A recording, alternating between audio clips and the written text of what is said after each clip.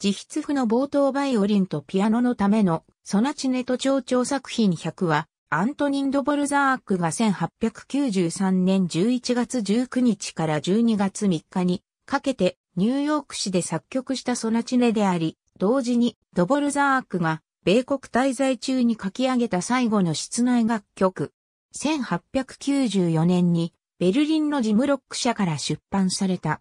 本作は、ドボルジャークが我が子の音楽的能力を徐々に育て上げていくために用意された。ドボルジャークは、1894年1月2日付のフリッツ・ジムロック宛ての書簡の中で以下のように述べている。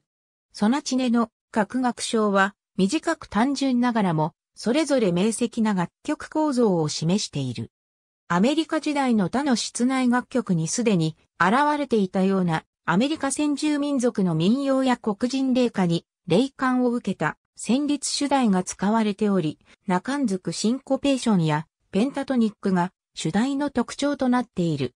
ちなみに、ドボルザークは1880年にヘチョウチョウのバイオリンソナタ作品57を作曲しているが、この曲に隠れる形で演奏の機会はほとんどない。フリッツ・クライスラーは第二楽章をインディアンの子守歌と呼んで演奏したが、もちろんこれは作曲者の意図とは関係ないものである。日本における演奏の最も早い例として、1935年にわずか15歳のスワネジコが SP レコードでクライスラー編曲の第二楽章、インディアンの子守歌の録音をコロンビアレコードに残している。ソナチネには珍しく、以下のように4楽章制で構成されている。ありがとうございます。